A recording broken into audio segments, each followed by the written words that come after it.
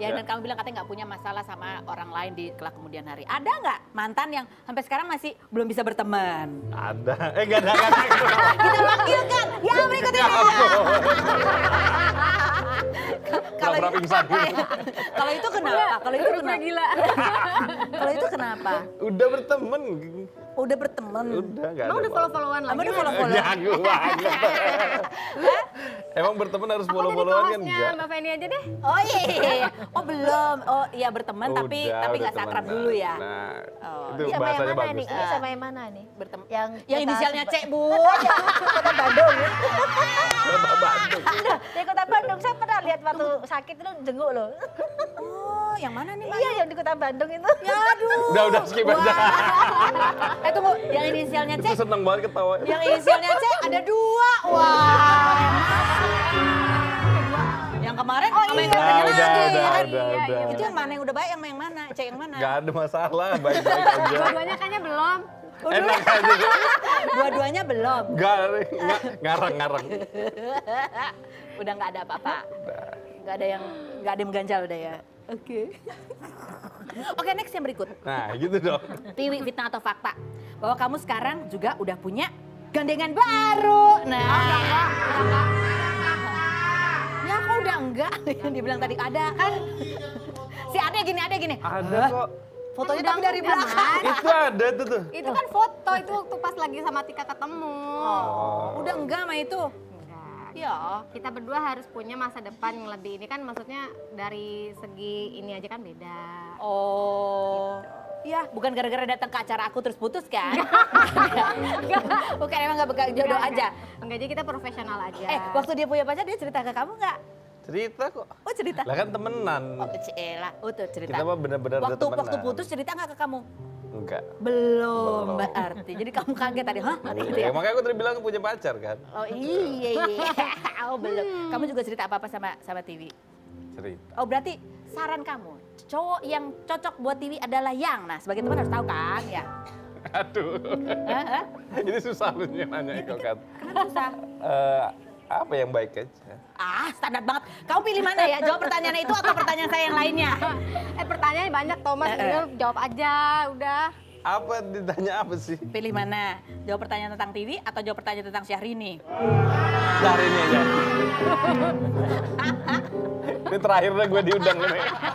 jangan dong, jangan dong. Kenapa susah sih cow- cowok, cowok yang cocok untuk TV? Masa susah? Hmm, gak tahu coba tanya deh. Ih, kan sebagai temennya harus cocoknya kayak Ini gimana? bisa buat sandaran kok TV. Hah, kenapa? Yang bisa buat sandaran, dia terlalu lelah dengan sendiri, tapi Asik. kepengen mencari laki-laki yang buat sandaran biar dia nggak terlalu capek. Dia kan Aduh. butuh kan laki-laki yang dewasa, tapi dewasa secara lain batin, bukan dewasa cuma di Sandaran luar. pintu. Bayu, Bayu, Iya. eh, jodohnya TV itu deket jauh?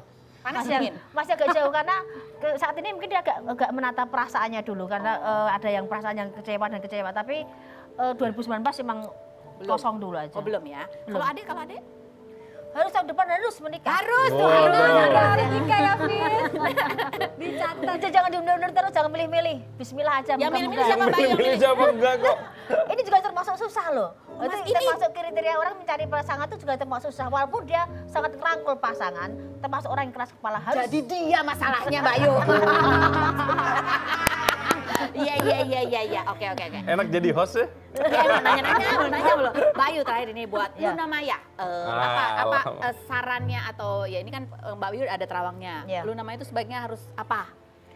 eh, apa pun kekurangan seorang Luna Maya, tetap jadi wanita yang tetap tegar, tetap berpikir positif dan eh, menunjukkan bahwa mampu move on dan memiliki pasangan yang lebih baik lagi. Siapa pun itu bisa membimbing Luna Maya lebih baik lagi, siapa pun itu.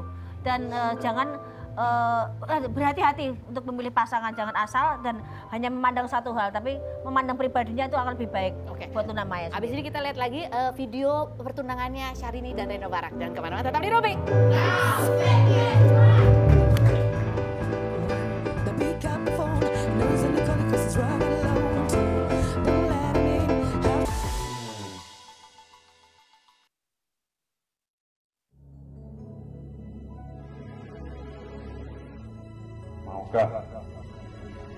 menikahkan anakku. Iya, aku mau.